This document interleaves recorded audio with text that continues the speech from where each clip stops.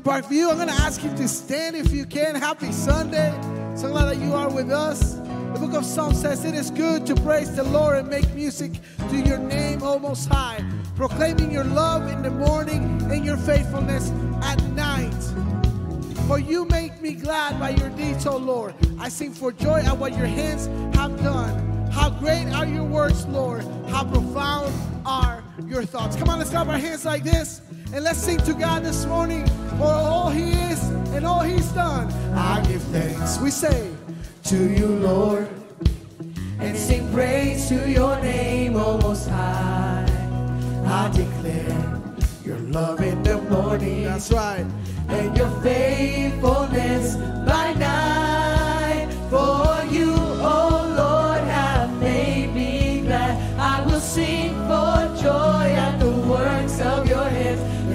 Rejoice in what you have done. Sing it again, church.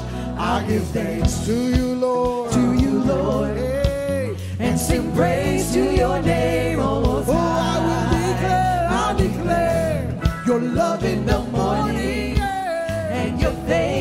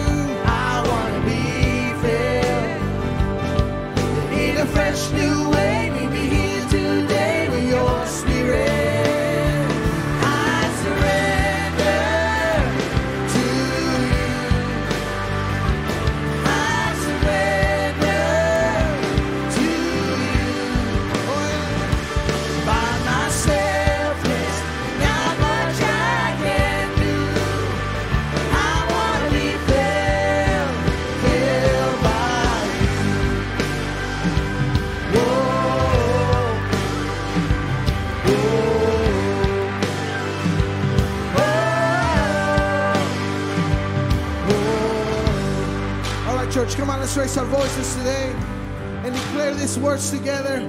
Ask for more of the Holy Spirit in your life. Sing it out with us. Like the rain. Like the rain, come pour. Come on, somebody say. Overflow, night of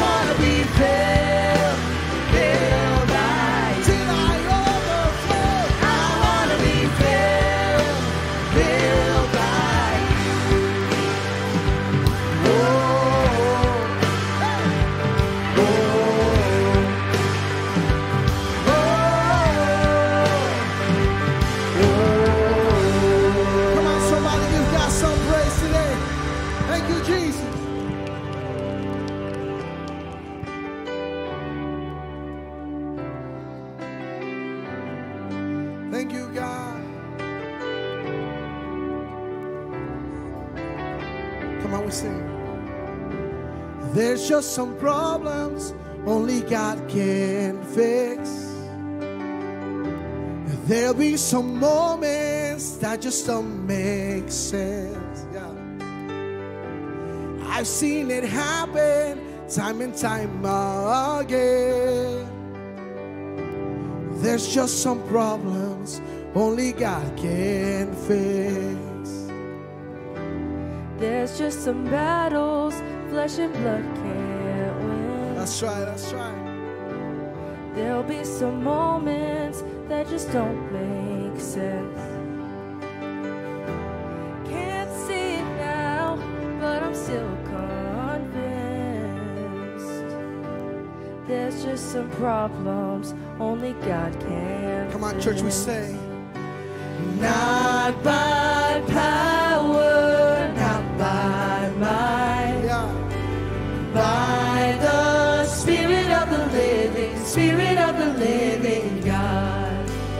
Not my battles, not my fight, by the Spirit of the living, Spirit of the living God.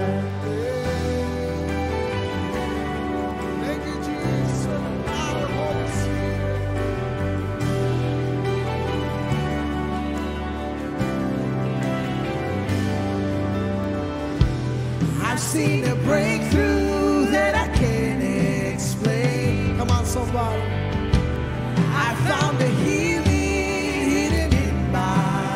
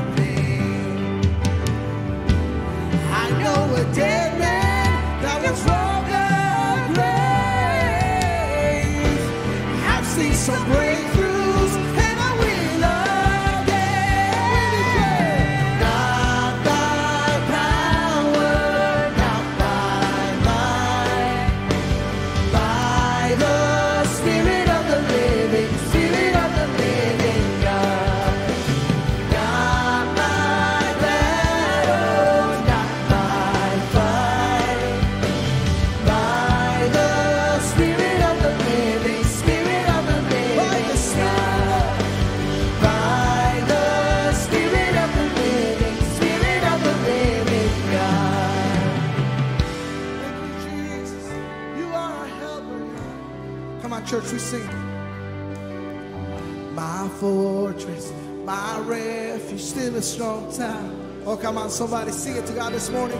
My help, defender. Yeah, we declare in this place. Oh, someone let the people know anything is possible. No weapon will prosper. Oh, come on, church, we sing it again. We declare. My fortress, my refuge, strong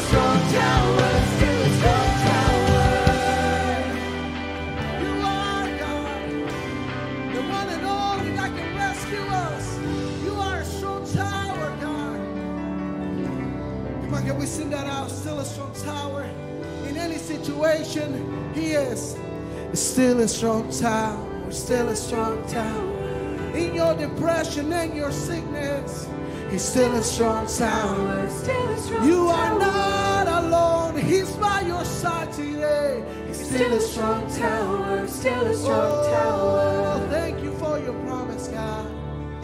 Still a strong tower. Still Come a on, sing strong this out. My fortress, my refuge, still a strong tower.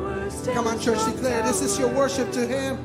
Defender, defender, still a strong tower. Still a strong Hey. tower.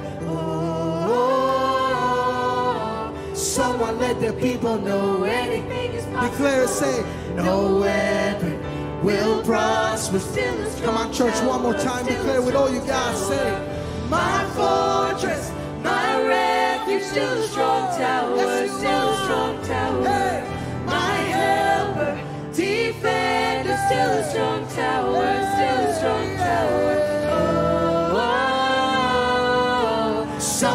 the devil know, tell him that he's got to go. no weapon will prosper, still a strong tower, still a strong tower. Thank you, Jesus, for your promises, God. You know, the reason why we can come to this place and sing this out, the reason why we can say that He is our refuge, that He is our strong tower, that He is our helper, that He is our defender. Is that no matter what we're going through, no matter how we walked into this place, we can sing this out with confidence because, because we know of the power of the Holy Spirit. We know that it is by His power, it is by His might. It's nothing that we can manufacture. It's nothing that we can that we can buy, but it's a gift that God gives to His people, to those who follow Him, to those who love Him. The power of the Holy Spirit, y'all. Church is alive and well. And it is time for us to live in that. It's time for us to, to claim that. That it's not anything that we can do, but it's only through Him. So I wonder if you can just lift up your hands and we can sing this out today. That it's not by power, that it's not by our might, but only by His Holy Spirit. However, it is that you find yourself this morning, whatever situation that you are walking in, that you are facing right now, just declare these words. Come on, let's sing. Not by power, not by might. Come on, tell them. By the Spirit of the living, Spirit of the living God. Not my battles, not my by the Spirit of the living, Spirit of the living God. God, we thank you for who you are.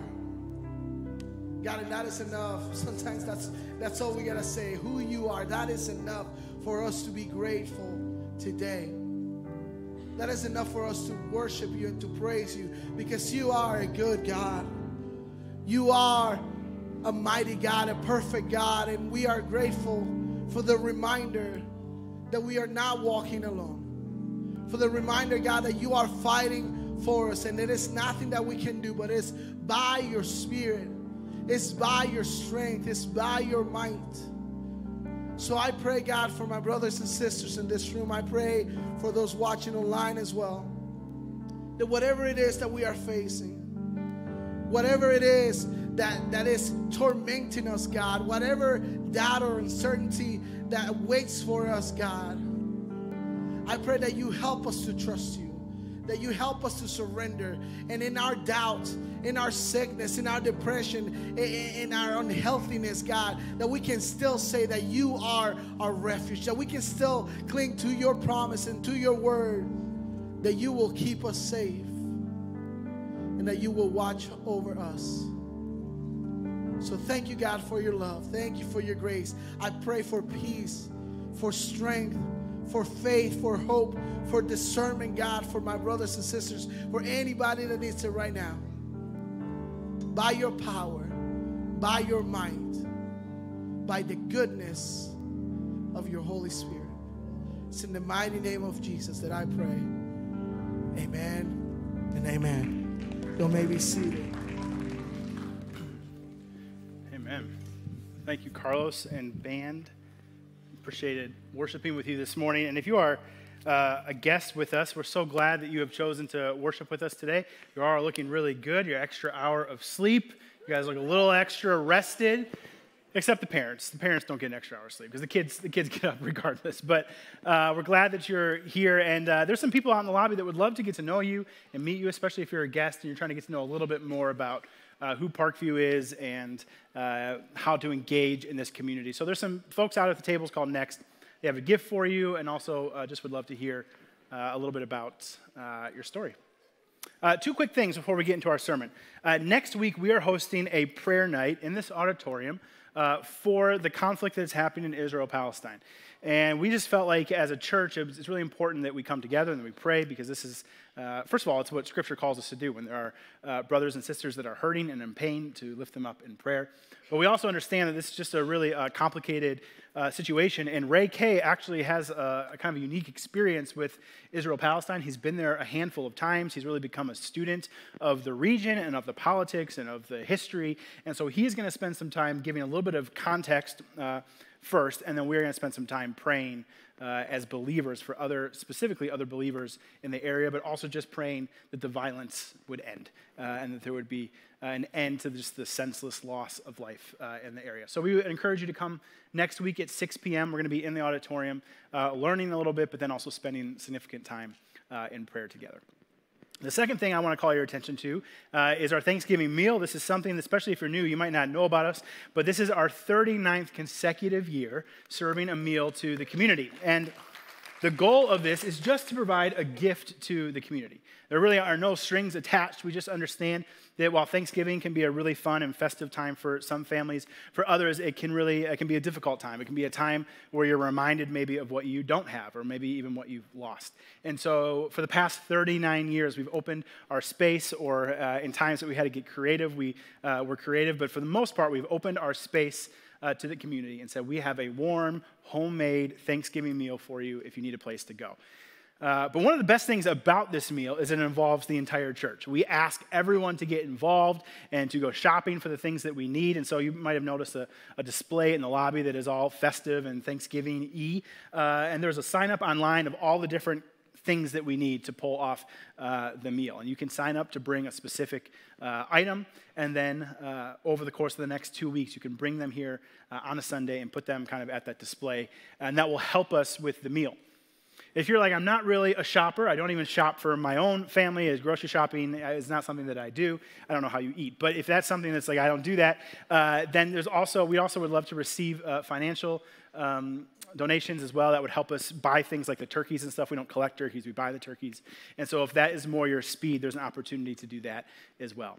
And then above all of that, there are different places to serve to help this uh, meal take place. So, day of, there are certainly opportunities to serve, but leading up to it, there's also uh, opportunities to carve turkeys or something called a stuffing night, which I don't think means you just come and eat stuffing. But I have to double check on that. But that would be very well attended. There's a green bean night, which same thing. I don't think you come and eat green beans. But you're helping prep and you're helping uh, get things ready for the day of. So, if the day of you already have commitments or you're out of town, but you want to serve, there's plenty of opportunities to serve leading up to Thanksgiving, okay? Uh, today, we are in week three of our series called In Real Life. This is a series that we've been talking about uh, the tension between the authentic and the inauthentic. And especially as it relates to social media and the internet, there is such a, a, temptation and such a kind of barrage of opportunities to present a very curated, very sanitized, uh, very manicured, put together version of yourself or your family. Uh, and oftentimes, that image that we portray or that we have curated doesn't always line up with who we actually are and what is true about ourselves. And so the first week we just looked, Jake, Jake opened up the series, and he just looked at this in general, this idea of what it means to be authentic. He used a really uh, clever passage, uh, I think, to do it. He talked about John the Baptist, who was continually being asked to be someone that he was not. There was pressure from, from people saying, Are you this? Are you that? Gain more power, gain more popularity. And John the Baptist consistently said, No, that's not who I am. I am the person that is preparing the way for the person. And so he lived this incredible life of authenticity and, um, and so and vulnerability even. And so we talked about that week one to set the stage. And then last week, Ray gave one of the best messages I've heard on finances. Finances is one of these things that maybe we can portray that we have it all together. Maybe we can portray that we have enough or that we have more than enough, that we can afford everything that we have. Uh, but what, what power do finances have in our actual real life, in our heart and in our soul? And he did a really great job using King Solomon as an example uh, to draw us back to the power that finances can have. And this week we talk about parenting, what it means to parent in real life. And so, what I want to do first, before we get into kind of the meat of the message, is I want to offer a little bit of a disclaimer. And that is, when you hear that the message is on parenting, there is a temptation to check out, especially if you are in the, the room and you are not in a season of parenting. And I want to say two things to that. One, I want to vulnerably share with you that I sat in that seat many times both as growing up in the church, but even in my adult life, I sat in parenting messages when I wasn't a parent. And I know from personal experience that that can be difficult, and that can be challenging, it can be awkward, and it can even be um, uncomfortable at times. And so, what I'm asking you to do today is to not check out, but to engage with the content, even if you're not in a season of parenting. And I simply want to say that if that is hard for you or that is difficult for you, I understand. I mean, I don't understand everything because I don't know all of your stories. I don't know everything that you've been through. But I understand as someone who has sat in the seat that you are sitting in, that I'm asking you to sit in, I understand that sometimes messages about parenting are uncomfortable and even difficult. And so I get that. But I, what I want you to do today is to lean in, if you're willing. And I want you to do some hard work with me uh, today. I want you to do the best that you can to take the things that we are talking about today and to apply them to your context, even if you're not in a season of parenting. Because I think what we're going to do today, the scripture that we're going to read and the things we're going to talk about apply to everyone. But specifically, we're going to talk about what it means as it relates to parenting. But I do think it applies to everyone. And so what I'm asking you to do is to do the hard work to discern how the things that we talk about today impact and intersect with your life. And I keep saying it's hard work because I know it's hard work because that's what I do every time I step on this stage. Is I take something that is true in scripture and I say, okay, where does it intersect our life? And then how do I inspire people to live at the intersection intersection of truth and practice. That's the task of a preacher, and it is hard work. But I'm asking you to do that with me today because I might not be able to contextualize every point for a non parent in the room. So I'm asking you if you would give a little extra effort this morning to contextualize what we say about Scripture and what we say about God for your specific instance, okay? Can we do that? You nod your head if we can. Okay, don't nod it this way. Who nodded, nod it this way? All right. So, to that end, let me just pray for us. Father, we ask that you meet us where we are, exactly where we are. And we even acknowledge that that is a bit of a miracle that we're asking, that we would ask that your spirit would individually speak to the hundreds of people this morning that have heard this message and would somehow uh, contextualize it for their specific life circumstance. Father, we ask that you do that. We ask that you do that every time we gather together and open scripture. We specifically ask it for this morning. We pray this all in your name. Amen. And we specifically asked the question, what does parenting look like in real life, you know, to, to correlate with the series, because we realize there is so much content online, especially about what it means to parent. Parent influencers are everywhere. There's all of these blogs and all of these uh, posts and reels and videos telling you how you should parent, giving you parental advice. You might be familiar with these. Uh, parenting hacks. Apparently, it's you can call something a hack, and it's cooler than just calling it an advice, even if it's the same advice that we've been given for decades. But it's parenting hacks, and it's things like how to do, uh, you know, how to avoid screen time, or if you have to use screen time, here are the 10 shows that are the best shows to watch for your kid if you must resort to screen time. You know, 101 crafts to do this summer, you know, when it's snowing outside. Organic, healthy recipes that your picky eater will love, right? how to take the dream vacation for X amount of dollars, you know, with your growing family, how to set boundaries with your teenagers, how to date your spouse when you have four kids living under one roof. And, that, and the, the advice, the hacks just keep coming and coming and coming. And you have all these Instagram influencers telling you what it means to be a successful parent. Success as it relates to Amazon's algorithms or to Instagram's algorithms, right? Success as it relates to what the algorithms think you need to know as a parent. And so, what we want to look at today is is that truly what success is?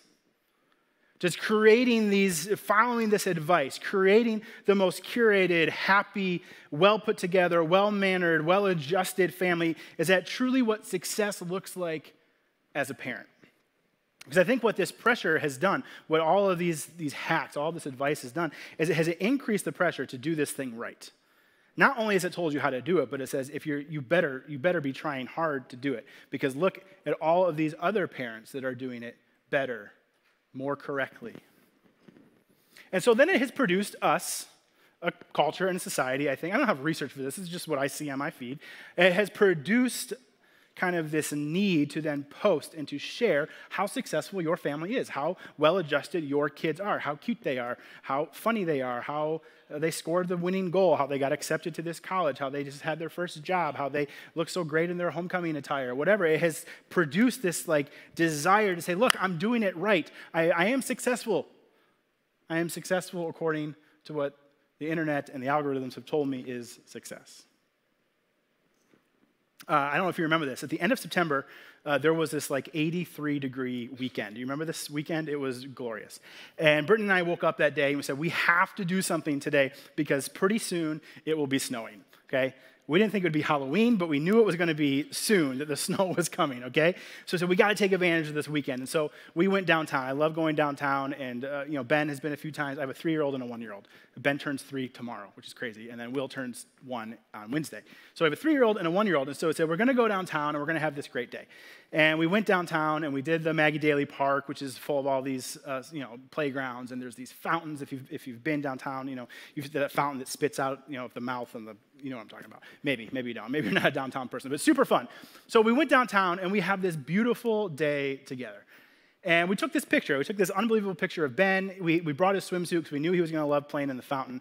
And now I didn't post, we didn't post about this day, but if we would have posted about this day, this is one of the pictures we would have posted. Look at Ben. He's so happy. He's in his swimsuit. You can see the fountain in the background. It's a beautiful, it was a beautiful moment. It was a beautiful memory.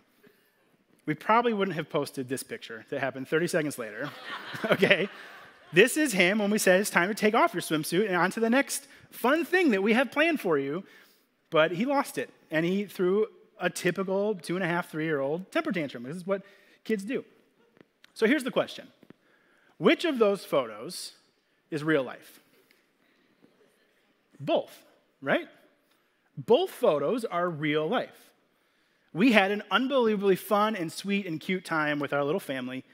And Ben, for 30 seconds to 60 seconds, had a meltdown when we had to move on to the next thing. Both are real. But here's the bit of an issue the only thing that we tend to post or the only stories that we tell if we're not online, or the only pictures that we print if we're old school, is the first picture, right? I don't see a lot of the second picture online.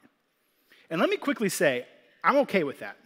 I don't need to see your kids crying all on my feet, okay? Truly. I'm not here to say, unless you're gonna post your kid being unhappy, don't post anything. No, I don't wanna see your kid crying. I know your kid cries. I don't need you to post 10 pictures of your kid having a bad day, okay? So I'm not here to say you gotta post both. What I am saying, though, is that when we only post the first, or we only show the first, or only tell the story of the first, if we're not careful, we can trick ourselves or we can forget that real life is both photos both experiences. And we can, we can forget that that family behind that photo, there probably is a crying baby behind, the, you know, in their, in their phone, in their reel. But we can tend to forget that. I know your kid's poop smells as bad as my kid's poop. I know that. I do, I think, I'm pretty sure. Maybe even worse, depending on what you feed them.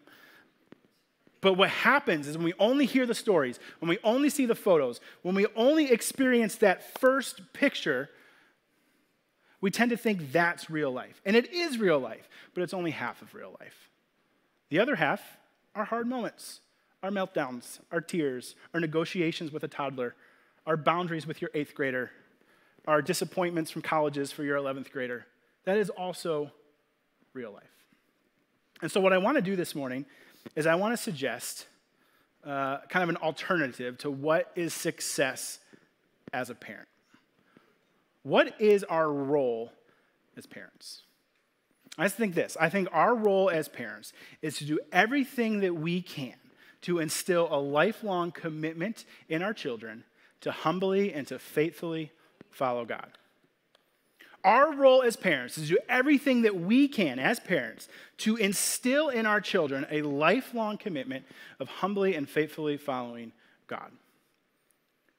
And I say that like it's easier than the alternative, but I actually think it's probably more difficult than just snapping the cute picture of your kid at Millennium Park or whatever. It's difficult. And part of why it is so difficult is because I intentionally said to do everything that we can as parents, because there's only so much you can do as parents, right? You can't make your kid make certain decisions. You can't make your kid decide to love Jesus. You can't make your kid say, I am going to follow God for the rest of my days. They have to choose that. And so, what is difficult is you do everything you can as a parent to set your kid up for success, to set your kid up for a decision that will result in him, him or her having a lifelong commitment to humbly and faithfully following God. But you can only go so far. And let me just say, that is so difficult as a parent. Because some of you know some of you know the pain that comes when you do that and your kid decides not to follow after Jesus. And you've done your work, you've, you've humbly and faithfully modeled what it looked like. You've done your best. You're not perfect, no one's perfect, but you've done your best to, to honestly and to earnestly model what it means to follow God. And your kid, for whatever reason, isn't walking with Jesus right now. Man, that is hard. That breaks your heart as a parent. It's also hard because some of you are sitting here and you're like, where were you 15 years ago, right? I, I've missed it on this. This sounds lovely, but my kid is now 20. My kid is now 30. My kid is now 16. And I feel like I haven't been doing this. I came to Christ later, or I got serious about my faith later, or I, was, I spent a decade dealing with some of my demons. And so, I, did I miss the boat? I just want to tell you, it is never too late. It is never too late to do everything you can to instill a lifelong commitment in your kids to humbly and faithfully follow God. Just never too late. In fact, it is one of the most powerful things to come to your kids later in life and say, listen, I, I did miss it. I wasn't what I should have been in your early years. And my life has been changed by the power of God, by the grace of God. And so I want to model to you now, even though you're 20, even though you're 30, I want to model to you now what it looks like to be someone that is humbly walking after God. And if you're willing to let me have an influence in your life, this is the influence I want to have. I want to show you, I want to emulate, I want to, I want to preach to you with my words and my actions what it means to follow Jesus. It is not too late. It's difficult, it's humbling, but it's not too late. There's a text in Deuteronomy 6 that I want to use just for, the, for our morning together. And Deuteronomy 6 is like the, the John 3.16 of the Hebrew Scriptures, or, or the Old Testament, what we call the Old Testament. This is the, this is the text that, that Jewish people would know and recite and have memorized that would be a part of their rituals. And in this text, Moses is preaching a sermon, kind of a, a recapture of the law, of, of God's covenant to his people. And they're about to, to enter into the Holy Land and, and set up their nation the way that God has asked them to and designed. And so he preaches these, this final sermon in Deuteronomy. And there's a, specifically a section in Deuteronomy 6 that I think applies for us today. This is what it says. These are the commands, the decrees, and the laws that the Lord your God directed me to teach you to observe in the land that you are crossing the Jordan to possess. Why? So that your children and their children after them may fear the Lord your God as long as you live by keeping all his decrees and commands that I give you, and so that you may enjoy long life. So Moses says, make sure to do the things that, that God has asked you to do, the law, the covenant that God has set before you. Do those things. And why? So that your kids will know and so that your kids will eventually fear the Lord. And then it goes on. This, this verse specifically is kind of like the John 3.16. Hear, O Israel, the Lord our God, the Lord is one. Love the Lord. Love the Lord your God with all of your heart, with all your soul, and with all of your strength. These commandments that I give you today are to be on your hearts get this, impress them on your children. Talk about them when you sit at home and when you walk along the road and when you lie down and when you get up. Tie them as symbols on your hands and bind them on your foreheads. Write them on the doorframes of your houses and on your gates. Moses says, impress on your children, impress into them what it means to love the Lord your God with all of your heart, soul, mind, and strength. Impress on them. And when you wake up in the morning, start talking about it. And when you before you go to bed, start talking about it. And when you're on your way somewhere, which people are always on their way in the ancient Near East, you're always walking somewhere. When you're walking with your kids, talk about it. Impress on your kids who God is. Then he goes on. In the future, your son's going to ask you, What's the meaning of the stipulations, the decrees, the laws that the Lord your God has commanded you? Tell him this. We were slaves of Pharaoh in Egypt, but the Lord brought us out of Egypt with a mighty hand. Before our eyes, the Lord sent signs and wonders, great and terrible, on Egypt and on Pharaoh and on his whole household. But he brought us out from there to bring us in and give us the land promised on oath to our ancestors. The Lord commanded us to obey all these decrees and to fear the Lord so that we might always prosper, be kept alive, as is the case today. And if we are careful to obey all this law before the Lord our God, as he commanded us, that will be our righteousness. Moses says, One day your kids are going to ask. One day your kids are going to ask, why do we do all the things that we do? Why do we keep Sabbath? Why do we go to festivals? And why do we do sacrifices? And why do we keep all of these laws? Dad, mom, what's the deal with all of this stuff? He says, and when that happens, be prepared to tell your son or your daughter the reason we do that is because God has been faithful to us, because God has delivered us, because God loves us. And so we keep his commands not as a, out of obligation, did you catch this, but to bring life, to prosper and so when your kids ask you, Mom, Dad, why do we go to church on Sunday? Why are you always talking to me about giving? Why are you always serving? Why are you always praying? Why are you always worshiping? When they ask you if you're doing those things and they see it, and your son or your daughter asks you, Why are you doing those things? Be prepared to give an answer. It's because God has delivered me. It's because God has been faithful. It's because God loves us and because I love God impress on your children what it means to follow God. Impress on your children who God is. Tell your kids. Tell your kids' kids. I see some grandparents in here. Tell your kids' kids. You're not off the hook. And you're like, I'm, you know, this is the awkward part where it's like, I'm not in the season of parenthood, Andy. Okay. I, my guess is you have nieces and nephews. Tell them Tell them who God is. I heard through the grapevine that if you beg children's ministry or student ministry, they will find a place for you to serve on Sunday morning or on Sunday night. Maybe, I don't know. Tell the next generation, like, I don't have nieces and nephews. Okay, serve on Sunday morning with our kids, serve on Sunday, Sunday night with our students. Tell the next generation of the goodness of God. You know, one of the things we don't have time to, to really dive into today, but there is this image that comes up, especially in the New Testament, about this idea of the church being a family. And I think it's so clever because families, even in, the, in ancient times, but especially now, families can be super dysfunctional and can be super tricky. And so for some people, that, that language of family is a little bit triggering, a little bit like, well, if this family is anything like my family, I don't want anything to do with it. But let me suggest it also could be incredibly healing because regardless of what your family of origin is like, the scripture says that together as a church, we are a family, which means that even if you don't have your own kids, collectively, we have children in our midst. We have the next generation here. I see some of the kids in the auditorium right now, and I love this. And it, it's also great because you can keep your parents accountable to what we're talking about right now. You like, remember when Pastor Andy said you had to be nice? You can say that, okay? We have kids in our midst. We are a family.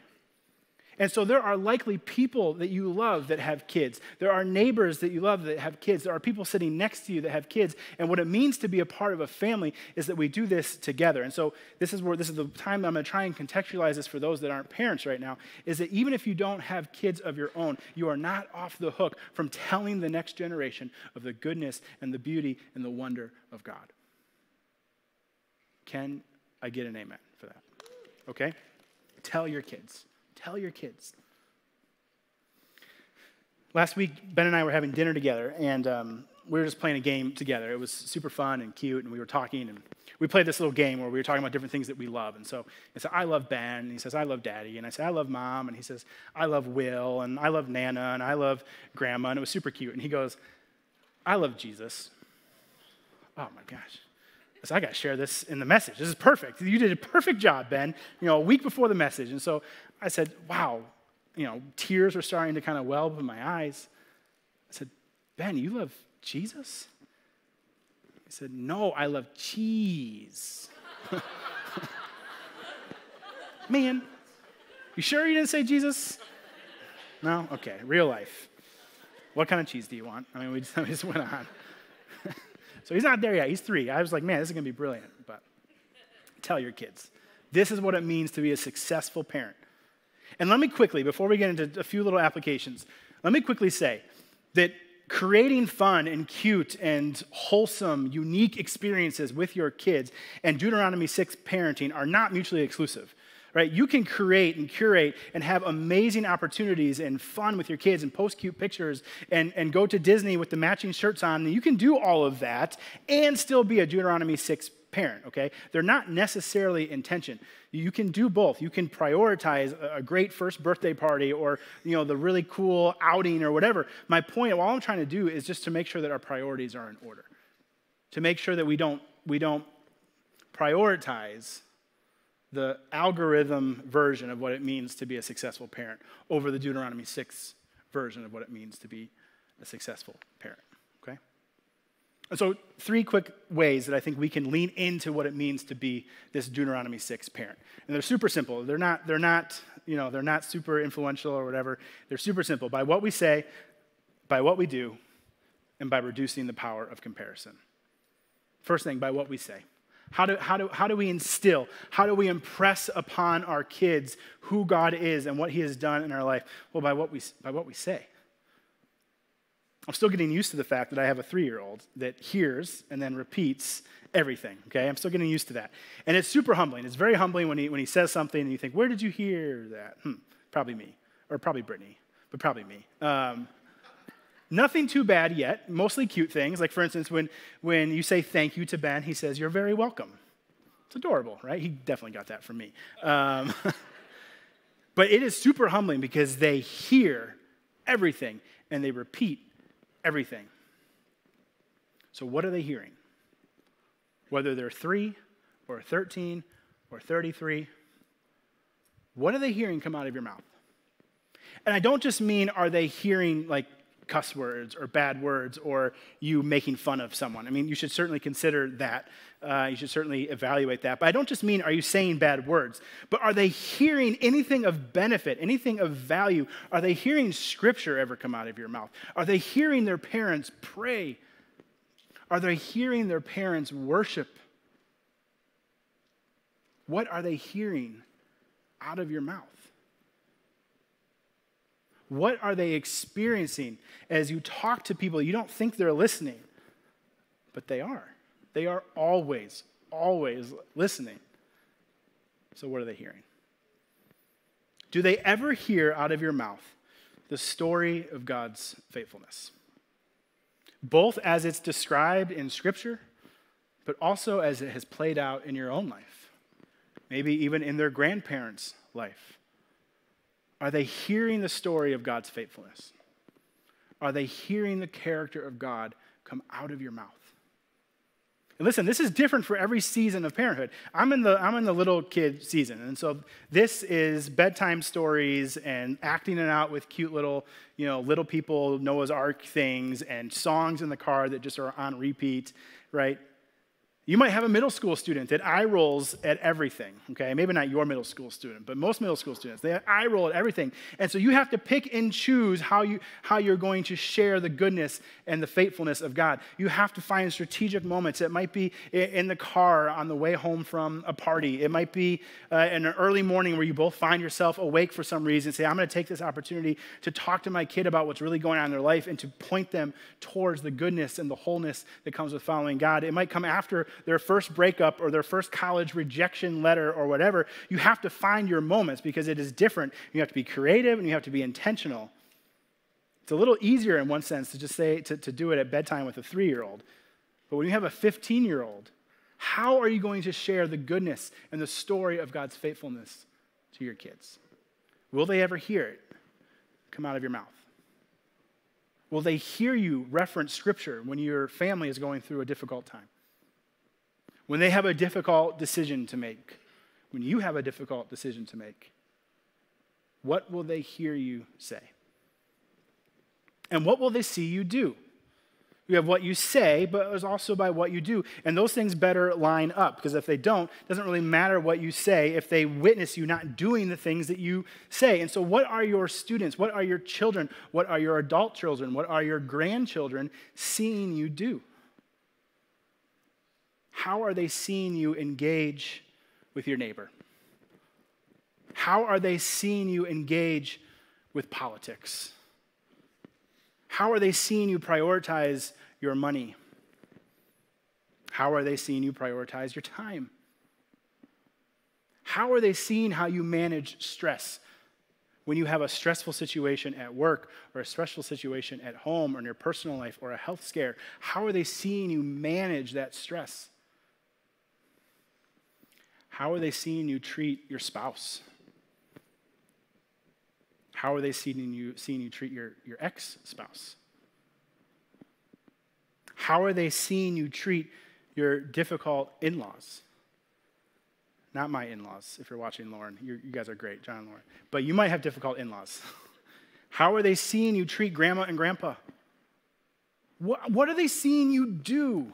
Because your priorities will become your kids' priorities. The things that you do, your kids are going to emulate. Again, this is whether your kids are 5, 15, or 35. Listen, I'm 35 years old. I still want to see my parents live out the implications of the gospel. I still want to hear my parents pray. I still want to hear my parents recite scripture. I still want to see my parents worship. I still want to be encouraged by their sacrificial giving. I still want to see how they tell others about Jesus. I still want to see how they serve in the community because it still matters to me, even though I'm 35 years old. So listen, if you're like, this isn't for me, I already did my parent thing, you are never done parenting. You are never done modeling to your children what it looks like to love the Lord your God with your heart, soul, and strength. Amen? So, what are they seeing you do? What are they hearing you say? And then, lastly, this is more for you than for them. I think Deuteronomy 6 can help alleviate kind of the, the tension of comparison. Listen, comparison is inevitable. And it certainly doesn't help with kind of the online presence of everyone posting what they're posting and all that stuff. But I think when you have Deuteronomy 6 as your core, as your like true north of like this is what it means to parent, you can be a little less distracted by the cute photo or the college acceptance or the kid that made the varsity team. You can be a little less like, oh, uh, my kid didn't do that, or I didn't do that as a parent. And you can be a little more like, but no, the primary thing that I am called to do is to do everything that I can to instill a lifelong commitment to God and to, to help my, my children humbly and faithfully follow Him. That's what I'm supposed to do. And so these other things, while it still might kind of eat at you at times, having Deuteronomy 6 as your core, as your callback, can help reduce the power of comparing your life, your family, your kids to others. But I will say it's difficult. And it doesn't even have to be online. The other day, uh, we went, Ben's at preschool. Toddlers Campus has a early threes. And so even though Ben isn't quite three yet, there's a beginner's class. It's super cute.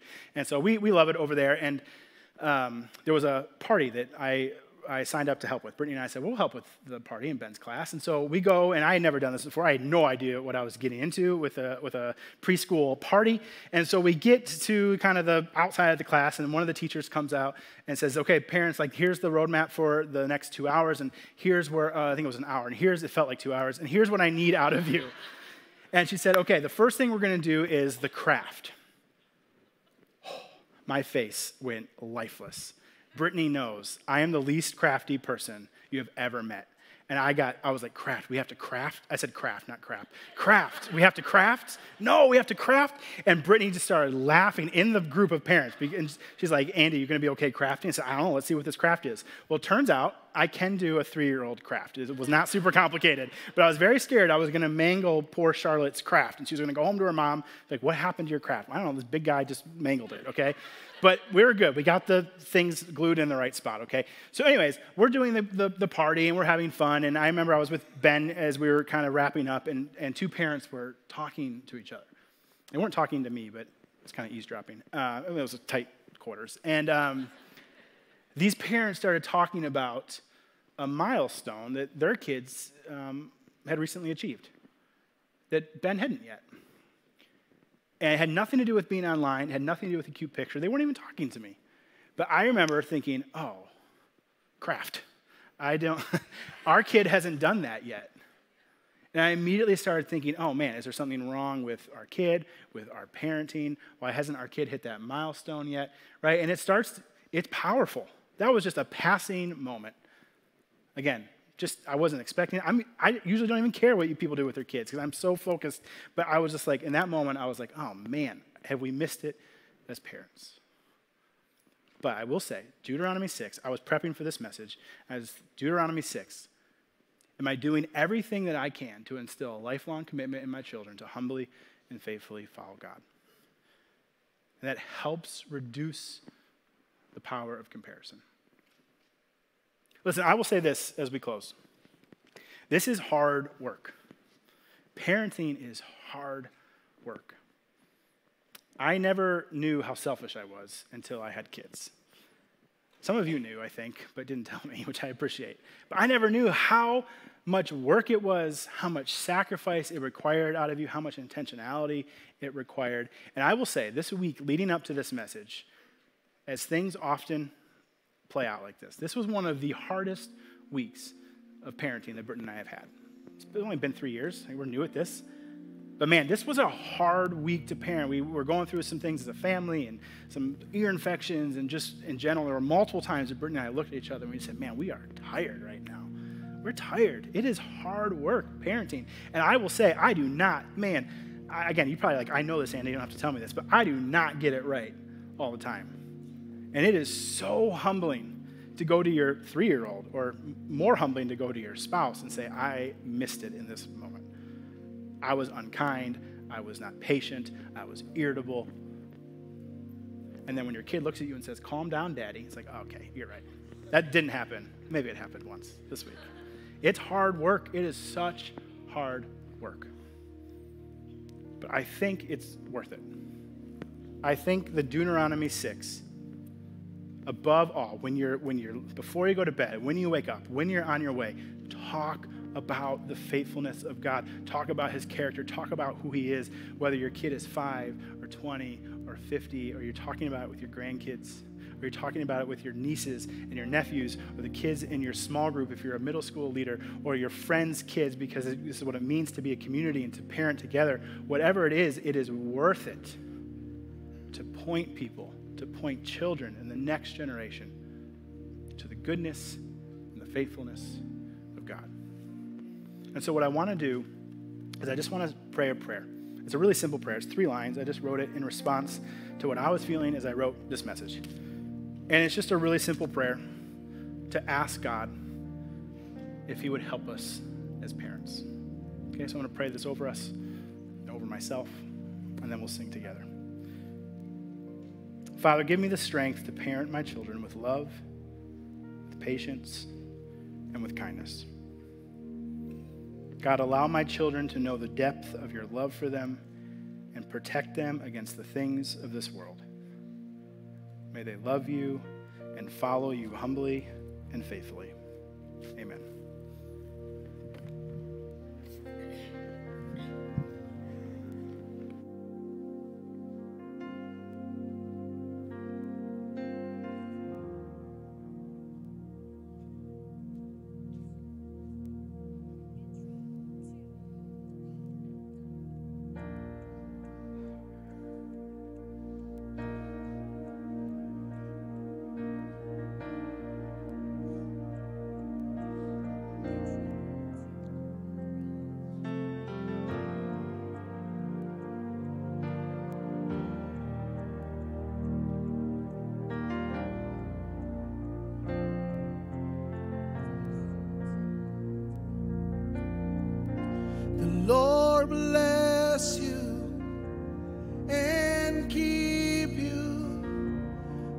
His face shine upon you and be gracious to you. The Lord turn his face toward you and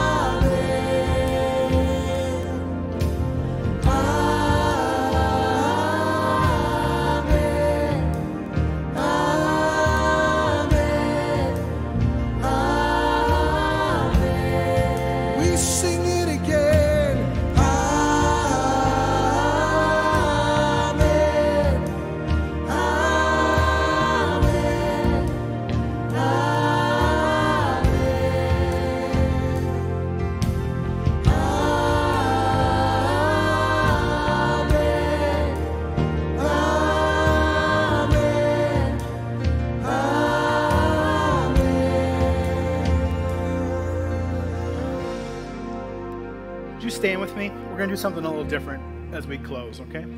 This, this song is a kind of a mashup of scripture. It's a new, Numbers 6, uh, Deuteronomy 6, which we looked at. You'll see some of that language in the next part. And the language from the psalmist of this idea of generation, generations, children's, children's, children. And so it's kind of this mashup of pleading and asking with God that He would be with not just our kids, not just their kids, but generations to come that we will never even see. But that God's work would start in our lives and that we would pass it on and that people would be so, so impressed by the power of God and His Spirit, they would pass it on to their generation and so on. And so this is just this beautiful prayer. But what I wanted to do is to recite our own prayer, the prayer that, that I prayed at the end of the service. And I want to recite it together corporately.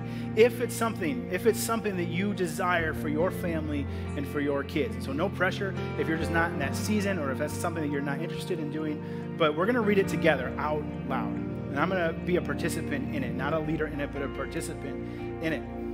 And I'm going to ask you to do something. Carlos sometimes asks you to raise your hands as we worship as a way of, of, you know, physically having your posture reflect your heart of worship and surrender and submission. And so I'm going to ask that if you pray this prayer and you want this to be true of your family and your children, that you would also raise your hands in that same posture of worship and submission. In a posture of asking God, God, I can't do this on my own, so help me. As a posture of saying, God, I need you. And so if if this is true of you, if you want this to be true of you, would you just raise your hand and recite this prayer out loud with me right now? And then we're going to sing the rest of the song. Father, give me the strength to parent my children with love, patience, and kindness. Allow my children to know the depth of your love for them and protect them against the things of this world. May they love you and follow you humbly and faithfully. Amen.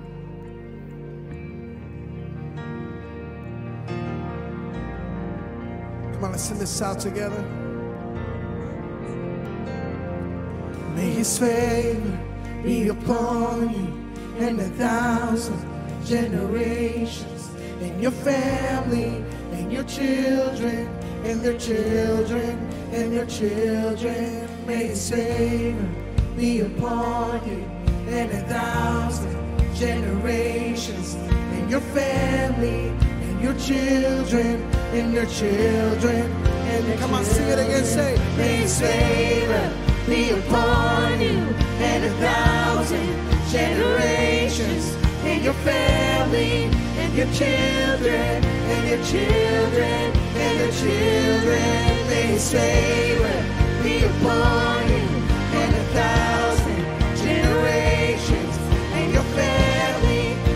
children, and your children. come on, may His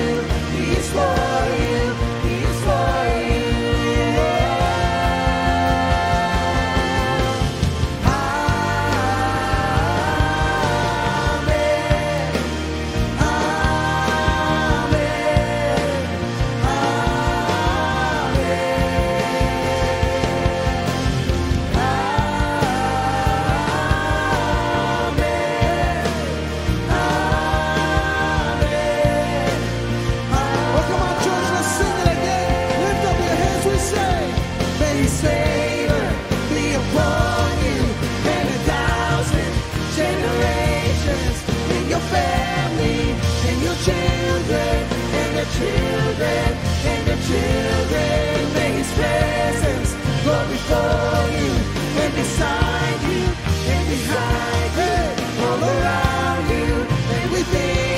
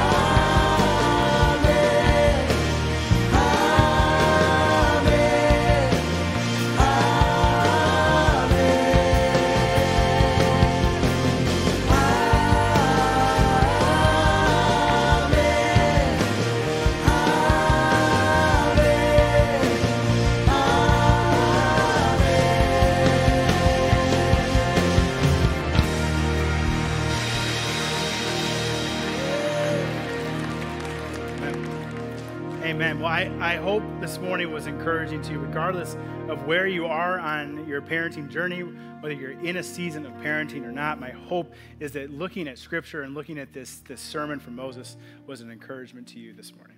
We're so glad that you're here. We'd love for you to come back next week as we close out the series. And I also just want to draw your attention to this card that you'll get on the way out. We have a whole bunch of things over the holiday season that are meant to help engage with you and with your community. Uh, and so you'll, you'll see all those things listed on this holiday card uh, to prep you for uh, the holiday season that's coming, all right? I'm going to pray for us, and then uh, we'll be on our way. Father, we just, we love you. We ask that you would give us the strength and the patience and the humility to invest in the next generation in a way uh, that honors you. God, we're so grateful that we have the story to tell, that you are a good and faithful and loving God. So I pray that we would be bold in sharing that news uh, with those around us. Pray this in your name. Amen. All right, there's some people down front if you'd like to pray. Otherwise, we'll see you next week.